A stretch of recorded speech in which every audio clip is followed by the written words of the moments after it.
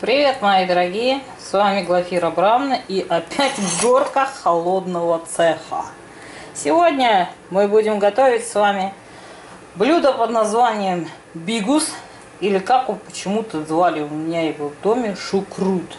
Готовится он из любого сорта мяса, морковки, лучка и капусты. Если бы у нас было лето, я бы добавила туда перец болгарский, можно добавить, кто любит остренькое, цицак, но мы все это компенсируем нашими специями.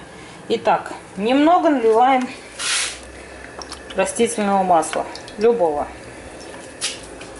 Сейчас оно прогреется, и мы можем опускать мясо. Мясо у меня нарезано тонкими полосками. Вы можете взять любой сорт мяса, без зависимости от того, что вы предпочитаете, говядинку, куриное, индейку, баранину. Все будет хорошо. А, некоторые делают бигус на основе тушенки. Я не люблю такой вкус. Это любят в больницах. И вот опускаем лук и морковь. Участница моя любимая. Перемешиваем она должна немного подтушиться. Кстати, заметила во многих видео, что э, вы пользуетесь, мои дорогие, странными приборами типа терки. Я тоже иногда пользуюсь, но понимаю, что это уже какой-то прошлый век. Намного быстрее пользоваться вот такой вещью. Я взяла насадку для компании для капусты. Очень быстро, буквально за 5 минут. И вот такую для морковки. Тоже очень быстро делается отлично.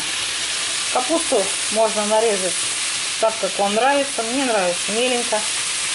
Она так получается сочнее. А, в нашем доме бигус или шукрут, я уже не знаю, как его теперь назвать, делался довольно часто. Бабушка любила капусту тушеную с мясом. Она является одним из популярных блюд в общепите, как ни странно. Общепит уважает такое блюдо. Тут, кстати, у меня холодец варится. Пускай варится. Так вот, бигус. А, бигус очень популярное название в Питере. Ну, там все по-другому. Там и поребрики, и булки вместо хлеба еще а, ну и кура вместо курицы.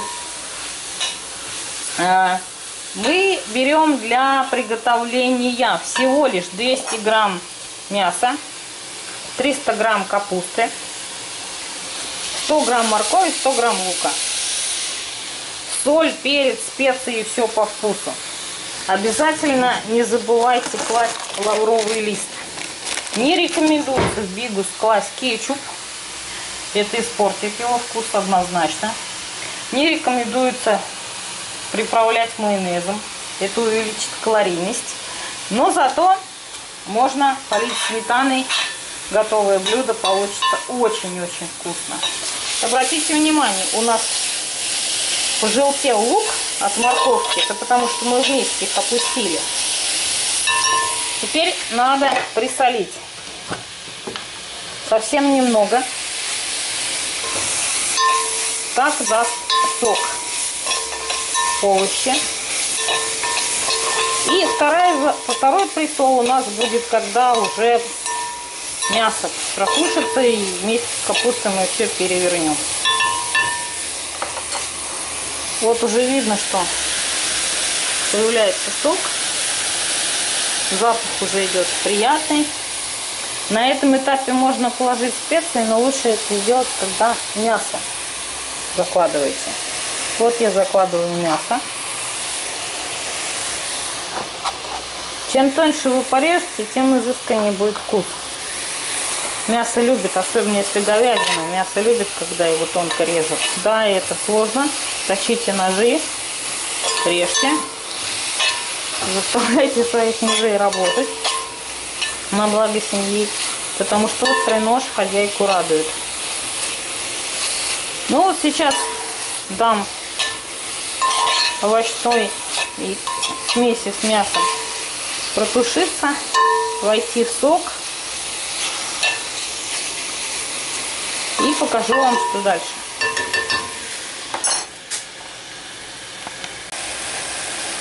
Вы не представляете, какой идет запах, какой идет аромат.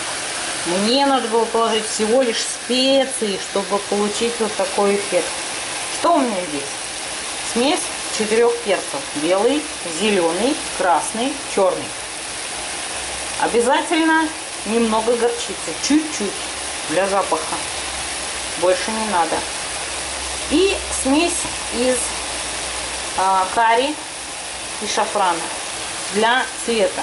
Еще мы дополнительно положим, когда у нас будет капуста. Вот у меня уже лежат 4 листочка лаврушечки. А некоторые кладут еще чеснок. Я не люблю в капусте чеснок. Ну, если кому хочется из моих отдельно, пускай кушают отдельно. Вот теперь можно перевернуть все спокойным образом.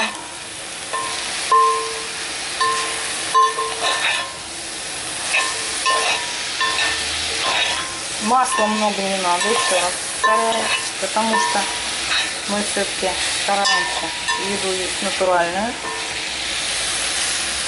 Купающаяся в масле капуста не есть хорошо. Капуста сама дает много сока. Если вы вот так ее еще немножечко пожмете, то она ответит вам благодарностью. Потому что тут же, вот видите, какой хруст идет зимний. Может так снег изображали. Отлично. Опускаем в наше блюдо. Капусту я перевернула. А теперь останется нам накрыть крышкой и подождать минут 20. Периодически помешиваем. Учтите, что не надо добавлять никакой воды, никаких соусов, ничего. Воду добавите, будет явно столовский вкус. Соус добавите, будет вкус общепита. Еще что-нибудь добавите, ну просто испортите. Э, чем хорошо, то что это практически безопасно для фигуры, потому что мясо в сочетании с капустой, э, с овощами. Как получится, покажу. Пока ждем. Я же говорила, что все очень быстро. Так быстро, что очень быстро. Все, готово. Можно подавать. Приятного всем аппетита. Кушайте с удовольствием. С вами была Глафира Брамна, которая плохого никогда не посоветует. А у меня впереди еще холодец.